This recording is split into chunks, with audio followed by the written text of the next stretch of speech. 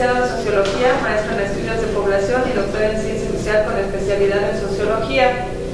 Desde 2014 es profesor e investigador de tiempo completo de la Universidad Autónoma del Estado de Morelos y cuenta con perfil deseable PRODET, es miembro del Sistema Nacional de Investigadores o de nivel 1 y miembro del Sistema Estatal de Investigadores. Entre sus publicaciones recientes se encuentran eh, políticas dinámicas y económicas educativas y poblacionales del ámbito local al global, eh, editado por Praxis Digital, coordinado por Mercado Ibarra, estudios estratégicos desde lo local, gobierno y tutela, editado por Fontamara UAM, eh, coordinado por Guerrero y Ramírez, así también Violencias Graves en Morelos, una mirada sociocultural, editado por la UAM, y coordinado por Maclot, Mindek, y Ramírez. Jóvenes, Socialización y Pluralismo Religioso en Tepalcingo, Morelos, de Zacato, en la revista de Antropología Social, así como Gobierno, Sociedad y Economía Regional, Teoría y Práctica, coordinado por Gómez, García y Ramírez. Démosle un aplauso, por favor. Gracias. Eh, buenas tardes. Yo eh, preparé una un, documento que les quiero leer y que, eh, digamos, de alguna manera trato de, pensar hacia dónde voy a seguir haciendo mi investigación. Vengo trabajando estudios de migración internacional, pero también trabajo temas de violencia, violencia y migración y problemas también de educación, de sociología de la educación. Entonces, digamos que tengo diversos intereses pero todos ellos están, digamos, unificados de alguna manera por mi interés en comprender eh, eh, y desarrollar teoría social. Entonces, eh, lo que hice en, esta, en este documento que preparé para ustedes es explorar una vía por, por, la cual yo puedo, digamos, estudiar las diferentes temáticas que, que, que, para mí son de interés. Y lo voy a leer porque me lo tomé con calma. Eh, eh, comienzo con la introducción. Las siguientes líneas buscan problematizar dos áreas de investigación con la finalidad de contribuir en el desarrollo de ambas, a saber, las teorías sociológicas de la acción y los estudios de migración internacional. Así, el objetivo de la conferencia es indagar en torno a lo que permite conocer el estudio de la migración internacional desde la mirada de la teoría sociológica. De manera particular, me concentro en la mirada de la teoría de la acción, la hipótesis que guía la conversación se funda en la perspectiva de las socializaciones múltiples. Junto con Bernard Bayer, eh, la hipótesis postula que los seres humanos, para poder construir nuestra vida, es decir, para desenvolvernos en cuanto seres humanos dentro de grupos sociales y de diferentes dimensiones sociales, y así reproducir la sociedad en la que participamos, hacemos uso de variados stocks de conocimiento y de experiencias que son actualizados y o reelaborados de manera cotidiana. De modo que los aprendizajes para poder actuar ante los diferentes escenarios sociales son continuos y necesarios. Para ilustrar esta hipótesis, tomaré como caso el estudio de la migración internacional, pues desde ese ángulo se puede observar con mayor nitidez eh, desde este ángulo de la migración internacional se puede observar con mayor nitidez esta práctica de incorporación y generación de aprendizajes necesarios para desenvolvernos en el espacio social. Esa es la introducción. Eh, planteo la, hipótesis, básicamente es una hipótesis de, las socializaciones múltiples y, eh, y trato de ver su potencia que tienen los estudios de migración internacional. Bien, breve esbozo de los elementos de la teoría de la acción. Aquí voy a nada más hacer una pequeña presentación en, qué consiste la teoría de la acción. Después, si quieren, podemos eh, profundizar eh, eh, con sus preguntas, comentarios, etc. La sociología es una ciencia social con carácter transdisciplinar desde su origen. El estudio de la sociedad implica el reconocimiento de los diferentes niveles que constituyen la realidad social. La sociología o el estudio de la sociedad precisa de dar cuenta cómo se articulan los diferentes niveles de la realidad que por otra parte son estudiados de manera separada por las demás disciplinas. la perspectiva de la teoría de la acción pone la mirada en los modos en que los individuos actúan para producir la realidad social en la que viven. Es decir, desde una mirada micro sobre las acciones de los individuos se accede a las estructuras sociales que son producidas por esas acciones micro. Así, para el sociólogo es fundamental comprender el sentido de la acción de los individuos, es decir, preguntarse por aquello que posibilita la acción concreta. En este andar de la sociología por comprender lo que posibilita la acción concreta de los individuos, se ha llegado a establecer algunas proposiciones. Una de ellas es que la acción del individuo siempre es social. Esto significa que los modos de actuar ante cualquier situación están guiados por la socialización a la que están y han estado expuestos todos los individuos. La socialización significa que el individuo, a través de la enseñanza de otros ya socializados, incorpora un lenguaje, el cual contiene las directrices para actuar, conducirse y ver el mundo social. Eso es lo que contiene el lenguaje. Directrices para actuar, para conducirse y para poder ver el mundo social. El lenguaje incorporado contiene las formas de actuar en tanto que se es hombre o se es mujer, en tanto que se es hijo, en tanto que se es hermano, etc. El lenguaje contiene las estructuras del mundo social y las reglas para producirlo y conducirse en él. Por eso es que a través del lenguaje, por eso es que es a través del lenguaje que el individuo adquiere las pautas para conducirse en el mundo, para poder desenvolverse en él, para producirlo y reproducirlo. El lenguaje es incorporado por medio de las interacciones con los otros.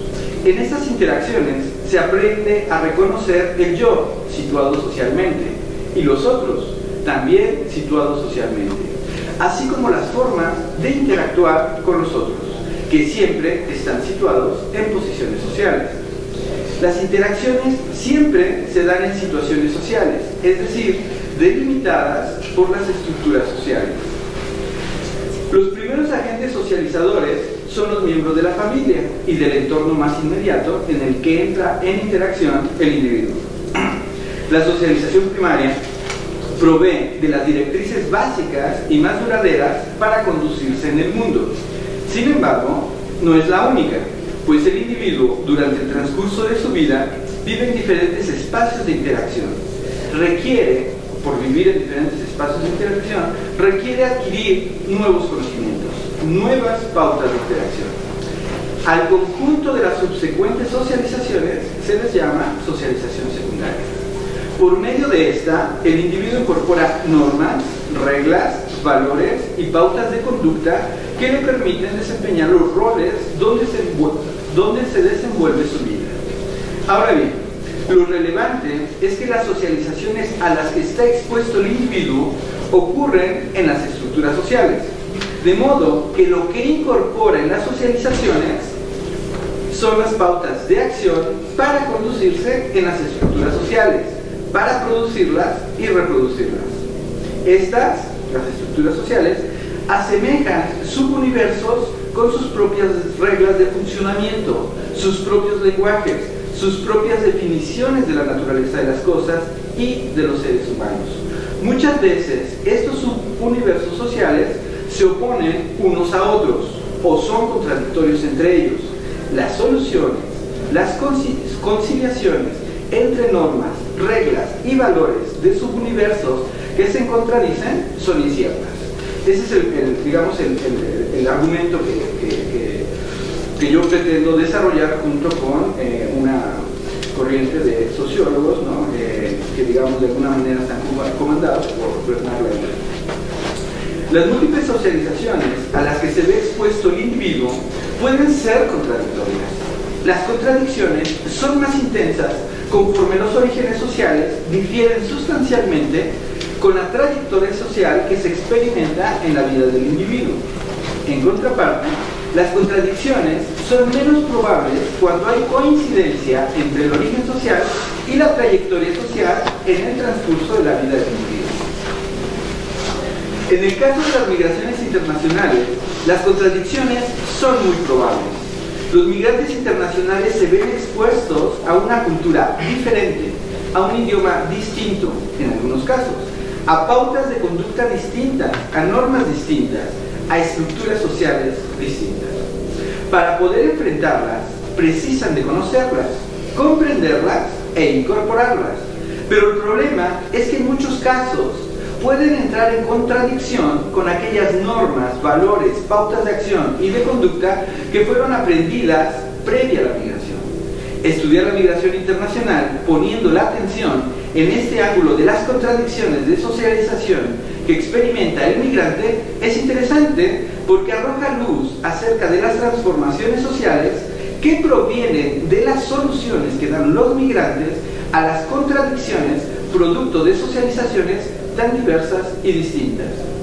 La comprensión que se genere en este ámbito de estudio permitirá ayudar a comprender los efectos de socializaciones múltiples en otros ámbitos de la vida humana, que por lo demás caracteriza a las sociedades contemporáneas.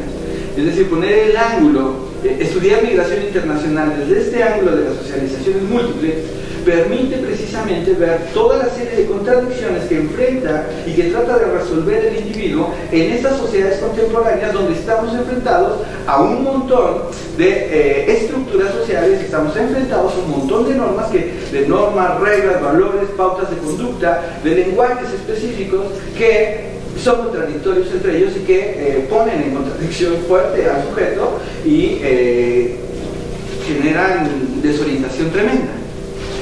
Por eso es que es, eh, me parece importante. Bien, ahora sí, ese, es digamos el planteamiento que hago del esbozo que hago de la perspectiva de las socializaciones múltiples y ahora trato de mostrar su vinculación con los estudios de migración internacional. En los estudios de migración internacional se han propuesto diversas perspectivas teóricas para comprenderla.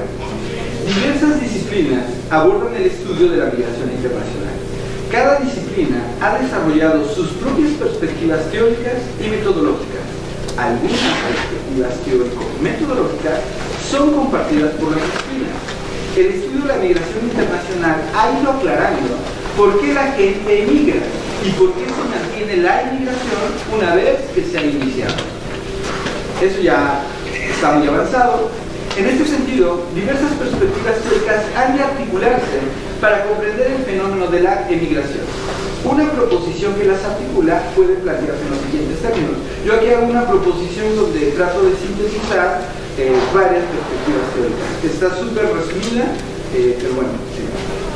La emigración internacional ocurre porque existen dos estados nacionales que en algún momento histórico mantuvieron algún tipo de interacción que posibilitó un inicial contacto de poblaciones trabajadoras bajo desiguales relaciones de poder. Los individuos que emigraron por primera ocasión contaban con características personales y sociales que les hacían considerar la opción de emigrar. Las diferencias salariales más altas en los lugares de destino y más bajas en los lugares de origen, junto con la oferta de empleos realizables para el migrante en el nuevo país, y la falta de empleos en el país de origen, así como la disposición de enfrentar nuevas realidades, generaban en algunos expectativas de mejorar sus ingresos y condiciones de vida a través de la inmigración.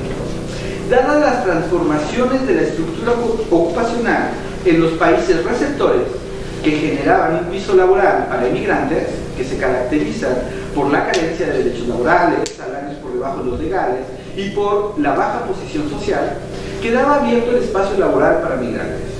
Es decir, es un hecho estructural. Esto ha hecho que la migración internacional se sostenga. Es decir, la, existencia de este piso laboral para migrantes hace que se sostenga la migración internacional. Junto con los otros elementos. El proceso migratorio se fue complejizando conforme algunos emigrantes se asentaban y posteriormente atraían a sus familias y familiares. Esto generó el efecto de que por un lado se generaran cadenas migratorias y el proceso continuara. Y por otro lado,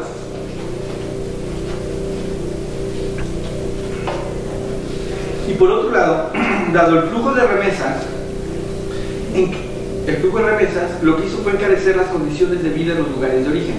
Estos dos elementos eh, hicieron que se mantuviera eh, la migración. Por estas dos vías la migración se hacía permanente. Luego, el hecho de que los países receptores reconocieran la necesidad de mano de obra barata en sus pisos laborales, pero buscaran frenar el flujo de migrantes indocumentados, dio lugar a procesos de naturalización de las familias nucleares, con la expectativa de que así se frenarían los flujos migratorios, lo cual no ocurrió debido a que los migrantes procedían de sociedades donde las relaciones sociales primarias iban más allá de las que ocurren en las familias nucleares. Para los estados nacionales receptores, el estudio de la inmigración internacional se volvió, una necesidad de organización social. De aquí surgió la perspectiva de la asimilación. Sin embargo, las inmigraciones no se detuvieron a pesar de las políticas asimilacionistas, de modo que se generó una nueva perspectiva teórica, la perspectiva transnacional. Los estudios transnacionales han mostrado la complejidad de la migración internacional. Han constatado que los migrantes que consiguen la nacionalidad de los países receptores solo se integran de manera parcial a, las nuevas sociedades, al tiempo que mantienen sus vínculos con sus localidades de origen. Los migrantes internacionales, con sus prácticas transnacionales, generan dinámicas sociales que, trascienden los estados nacionales la atención a las prácticas transnacionales ha permitido ver que los migrantes generan dinámicas sociales que incorporan elementos culturales y socializadores de dos o más sociedades y que estas dinámicas no solo afectan a los migrantes directos y a aquellos con los que ellos interactúan, sino que se extienden a otros individuos y actores que no establecen interacciones directas con los migrantes. Estos hallazgos, digamos, estoy tratando de sintetizar ahí fuertemente la perspectiva transnacional, hay muchísima investigación al respecto, pero me parece que esas son las premisas básicas. Estos hallazgos han llevado a plantear que el estudio de la migración internacional desde una óptica transnacional ha de orientarse a desarrollar teoría social. Por eso, por eso aquí es donde entra perfectamente este, la perspectiva transnacional, porque ellos han eh, estado eh, en el trabajo de desarrollar teoría social. Es decir, una teoría que dé cuenta de la construcción de la sociedad sin el límite de los contenedores de los estados nacionales que se han considerado como los generadores de la sociedad. Así, los desarrollos de los estudios de migración internacional han resultado relevantes para reconocer que la construcción de lo social obedece a la intersección de diferentes niveles de realidad como las dinámicas de los mercados laborales globales, las políticas laborales de las políticas laborales, las políticas de inmigración y de su ciudadanía de los estados nacionales, las dinámicas económicas regionales y locales, las dinámicas sociales locales y las capacidades de los agentes. Sin embargo, o sea, eso, eso, eso ya está claro. Y, aquí es donde, eh, a partir, digamos, de esos planteamientos, yo trato el problema. Sin embargo, no se ha ahondado en la perspectiva de la acción es por eso que ahora quiero indicar los elementos de la teoría de la acción que contribuirían a comprender de manera más profunda o a generar preguntas sobre el papel de la acción en la constitución de lo social en contextos de globalización y de migración internacional. Por un lado, desde la perspectiva de los factores de expulsión de la migración, se encuentra la teoría microeconómica de la elección individual, que en términos breves sostiene que los actores individuales racionales deciden sus desplazamientos migratorios mediante un cálculo del coste-beneficio que los conduce a expectativas de un beneficio neto positivo, normalmente monetario, del desplazamiento. La migración internacional se conceptualiza como una forma de inversión de capital humano. La gente elige moverse a aquellos lugares donde creen van a ser más productivos, dada su cualificación. Pero antes de que puedan adquirir el plus salarial asociado a la fantástica productividad laboral, deben realizar ciertas inversiones que incluyen los costes materiales del traslado, el coste de mantenimiento mientras se trasladan y buscan trabajo, los esfuerzos que conlleva aprender una nueva lengua y cultura, la difícil experiencia de adaptarse a un nuevo mercado de trabajo y los costes psicológicos de cortar viejos lazos y forjar otros nuevos. Esa es la perspectiva de la eh, teoría microeconómica de la elección individual. Ahora bien, lo que no se ha estudiado de manera explícita es precisamente los procesos de socialización o las experiencias sociales que llevan a unos individuos a poder evaluar su capacidad de poder adaptarse a un nuevo mercado de trabajo, acortar lazos y forjar otros. En ese sentido, hace falta profundizar en la serie de interacciones que van dando lugar a experiencias de rupturas con elementos culturales y normativos de las socializaciones primaria y secundaria. Rupturas que actúan como condiciones para tomar la decisión de emigrar y considerando además el cálculo del coste psicológico del cambio de un sistema normativo. Más aún, no se han estudiado sociológicamente con detalle las experiencias sociales y los procesos cognitivos y emocionales que desarrollan los individuos para hacer frente a los nuevos contextos culturales. En ese sentido, la perspectiva transnacional ha hecho algunas aproximaciones, pero sus hallazgos quedan en meras descripciones que carecen de mecanismos explicativos. Así, por ejemplo, se ha constatado que los hombres y mujeres migrantes desarrollan diferentes pautas de conducta y de acción una vez que comienzan una vida en la sociedad de destino. El hecho más contundente es que las mujeres, por un lado, tienen menor propensión a retornar a su país de origen que los hombres. Se sostiene que esto es así porque las mujeres logran ciertos niveles de libertad de los que no gozaban en sus lugares de origen, lo cual logran al incorporarse al mercado de trabajo y temen perder esa adquisición al regresar al lugar de origen. Mientras que los hombres, dada la naturaleza feminizada de los trabajos a los que acceden en los lugares de destino y por la pérdida de su estatus, que por el hecho de ser hombres cuentan en sus lugares de origen, hacen que consideren más deseable volver a sus lugares de salida. Sin duda, se puede notar que el vivir en marcos normativos tan contrastantes y hasta contradictorios, sin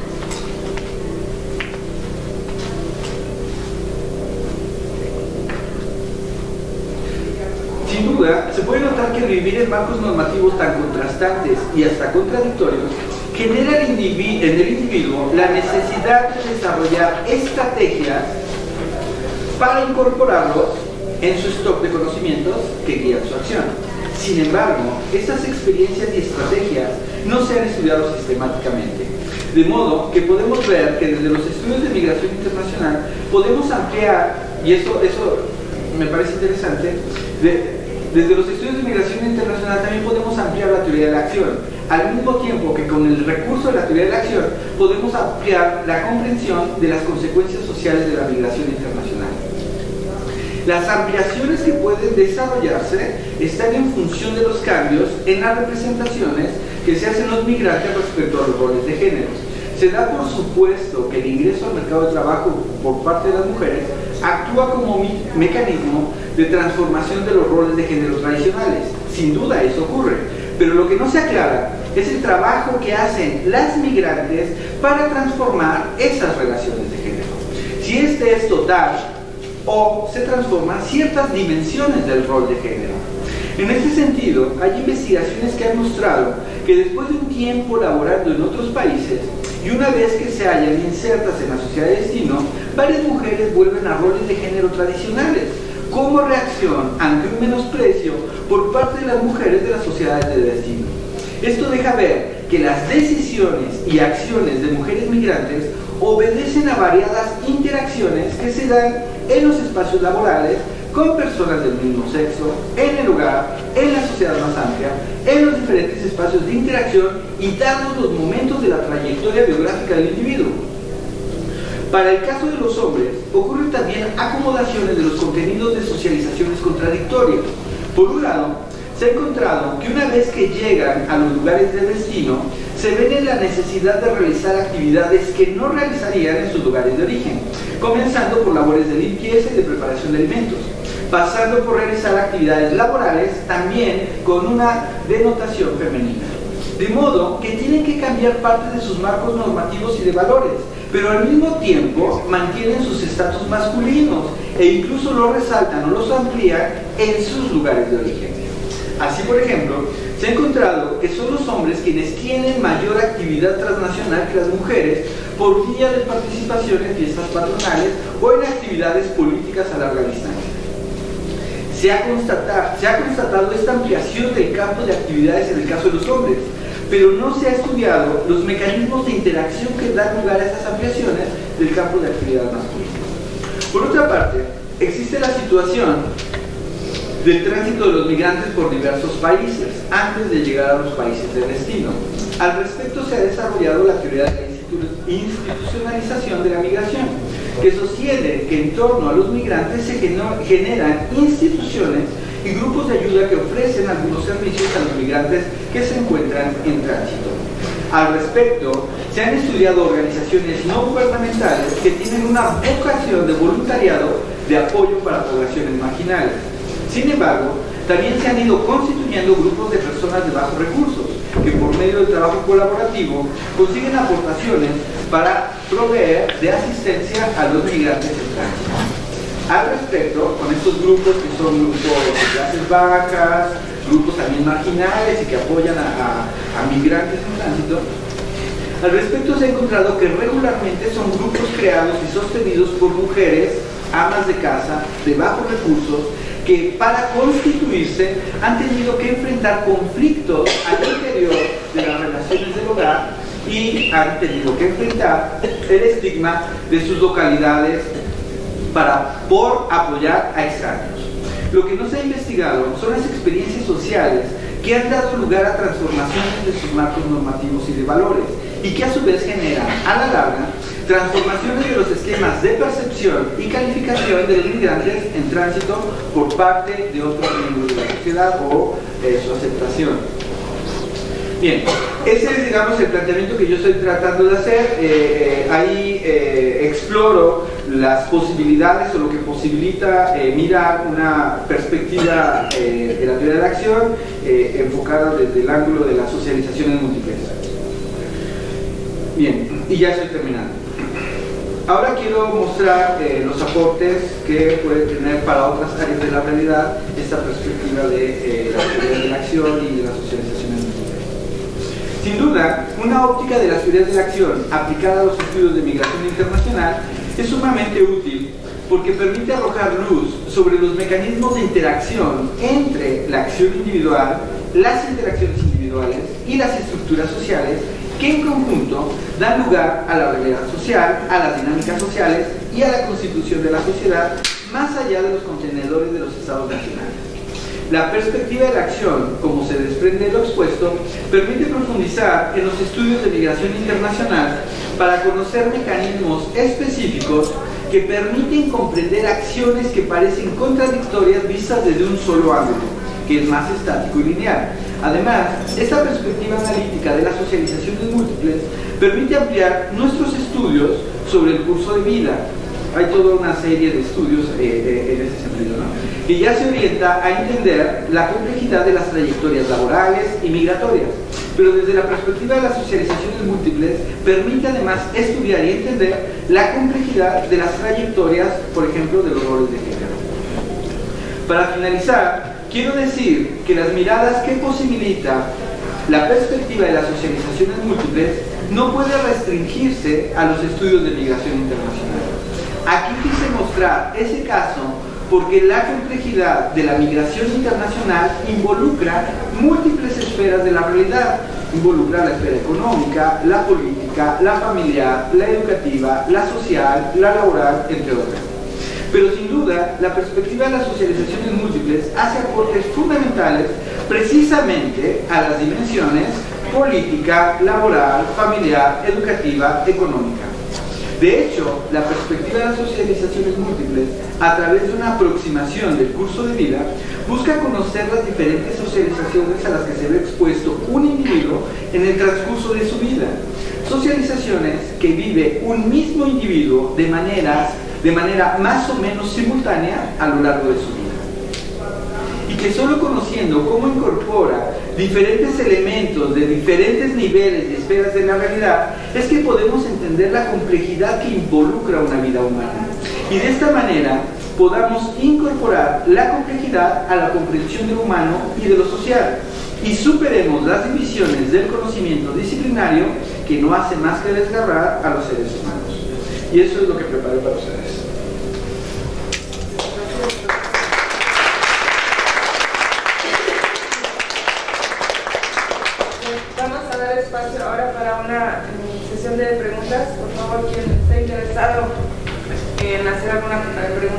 Algún comentario o contribución respecto a su participación.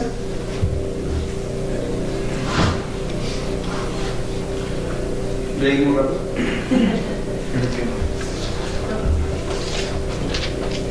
Bueno, considero que se han tocado varios puntos bastante interesantes.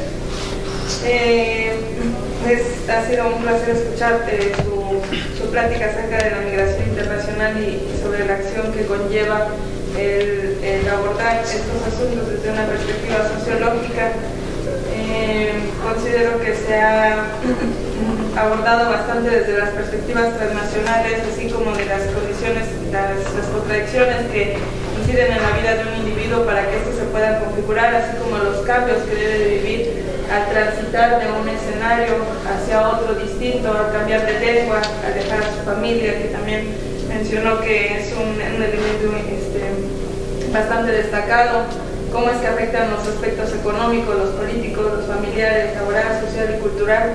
Creo que en sí esta charla ha sido bastante enriquecedora, sobre todo quisiera destacar eh, la, la, diferencia en cuanto a los roles de género que se juegan cuando se está en un país de origen y en cuanto se hacen los cambios de carácter, sobre todo internacional, que, juegan un, un, papel importante ¿no? en, en, la manera en que nosotros también identificamos a las personas migrantes.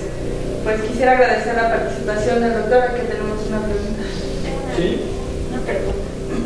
Eh, para conocer acerca de, en estos procesos de migración, para conocer eh, acerca de cuáles son las estrategias eh, que, que, siguen eh, las personas que migran, pero de manera más específica, sobre todo como aquellas que los van guiando o de qué manera van solventando es esto que tú comentas, los, este, el, esfuerzo por adaptarse a otra lengua, los ejercicios de adaptación, pero sobre todo lo que llama más mi atención es como esta, cómo, cómo rompen con los lazos eh, de, origen para adaptarse a otro espacio. El estudio se hace o, no sé qué tanto haya acerca de de esos trabajos para ver cuáles son las estrategias o se han planteado desde trayectorias más individuales o, se puede, pienso no se pueden generalizar, no son como más específicos de, de cada persona o, con base en qué se estarían proponiendo. Dentro de los estudios de migración internacional hay una perspectiva teórica, por ejemplo, que hay dos una es la de la causalidad acumulativa y otra es la de las redes sociales. Entonces, eh, ambas recurren a, a, digamos, a una perspectiva de redes y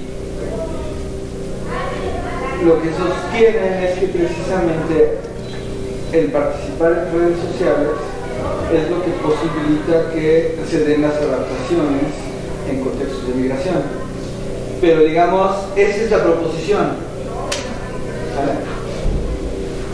Y yo lo que estoy planteando es que hace falta indagar precisamente cómo se dan eh, estas comunicaciones, ¿no? cómo se dan esas socializaciones, que es algo que no se ha eh, esclarecido. Eh,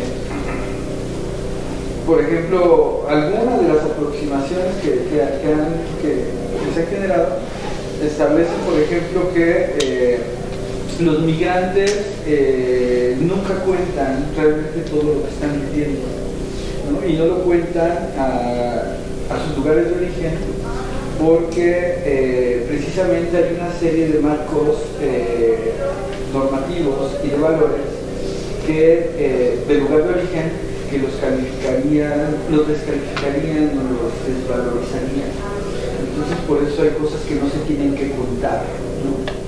Y se viven. Pero el asunto, eh, el asunto es este, ¿no? Si, si en el lugar de origen, eh, aunque tú estés muy conectado, ¿no? Aunque tú tengas un primo, un tío, un hermano eh, en otro país, este, si él no te va a contar esas experiencias que son muy fuertes, que son traumáticas, ¿no? este, no, se aclara qué pasa cuando las vives, ¿no? Entonces ahí, por eso, por eso yo decía, ¿por qué no indagamos desde una perspectiva de socialización? Es decir, de alguna manera eh, los individuos tienen que ir generando desde las socializaciones que están experimentando en su lugar de origen estas fracturas que van a ir viviendo, que van a ir experimentando. Pero no se ha puesto énfasis. Eh, hay, digamos, eh, estudios más recientes que sí han tratado de ver, pero el ángulo, el ángulo que están tomando es el de las, eh, los problemas mentales que están generando la migración internacional. Pero es un ángulo de, pues, más psicológico, que hay una serie de problemas mentales. El, el, ángulo de las socializaciones múltiples lo que establece es que precisamente hay individuos que, digamos, su capacidad debido a las socializaciones previas, su capacidad de enfrentar eh, situaciones eh, o marcos normativos de valores, etcétera, tan contradictorios, eh, pueden, pueden generarles así problemas, problemas emocionales muy fuertes, problemas mentales muy fuertes, pero a otros no. Y entonces lo que hay que esclarecer es precisamente esas, esas experiencias previas que dan lugar a un tipo, digamos, de de problemas que sí son emocionales súper fuertes y, otras que, que, digamos, a, las que han estado expuestos y que no les generan. Pero ahí no hay generalidad. Por eso, es que, por eso es que hago esta aproximación desde ahí, ¿no? para no ir desde, desde el lado de la, propiamente de la psicología, sino seguir eh, pensando en términos sociológicos. No sé si... Sí, pero, justamente eso, o sea, para mí es como lo más, lo que me llama más la atención, porque justo... Eh, eh, por lo que he leído, se migra para buscar eh, como un mejor estatus eh, económico y también, bueno, lo que no, no, había considerado es como según la cualificación que yo tenga. Pero justo en este proceso de ir a otro espacio, este paso, ¿cómo, cómo lo enfrento? y además cómo no tengo permitido no compartirlo, porque hay ciertos eh, límites que ya no, ya, que no podría yo romperlos justo por este ideal que se tiene de migrar para, para mejorar un estatus eh, económico sobre todo. Y sobre todo lo que, otra de las cosas que llama también mucho mi atención es como en, en, otro, en otro marco, algunas veces se, migra por eh, cuestiones de violencia, ya sea familiar este, o a nivel eh, ya comunidad, y cómo, qué se deja en este espacio, pero también qué voy a ganar estando allá yo siguiendo, siendo una persona migrante, ¿no? ¿A qué me voy a enfrentar? ¿Qué tanto dejo, pero qué tanto gano en ese siendo una persona migrante. También es lo que siempre como que me he inquietado mucho. Sí, o sea, lo que yo estoy haciendo en realidad es un planteamiento para problematizar precisamente los estudios de migración y tener una, un lente con el cual poder empezar a hacer investigación. O sea, yo puedo citar como varios trabajos teóricos, pero son, o sea, son teóricos y son teóricos en el, en el sentido en el sentido que es criticada la teoría por eh, eh, la investigación empírica. Es decir, yo puedo citar a, o sea, podemos hablar de Schutz, eh, podemos traer los trabajos de cine, que sí pensaron, que sí reflexionaron en y, y, y, el planteamiento, pero el planteamiento es como muy general, es una serie de situaciones que pueden ser pensadas racionalmente. Pero utilizar una óptica de las socializaciones múltiples lo que hace es no postular eh, proposiciones teóricas a priori, sino de irlas construyendo empíricamente. Y entonces tus preguntas pues, son preguntas que yo lo que digo es, pueden ser abordadas, o sea, pueden ser abordadas con una perspectiva de socializaciones múltiples. Y eso es lo, esa es mi propuesta que la perspectiva de socialización múltiples es una herramienta analítica que le puede aportar a los estudios de migración internacional para precisamente dejar de suponer cosas y empezar a esclarecerlas. ¿Alguien más que tenga algún comentario, alguna pregunta?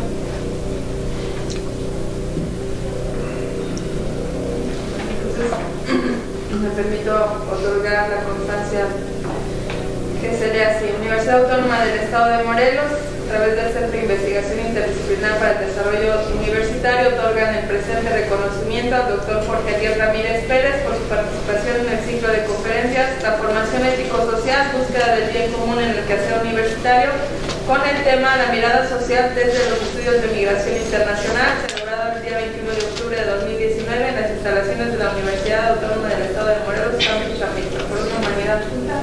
Muchas gracias. Gracias.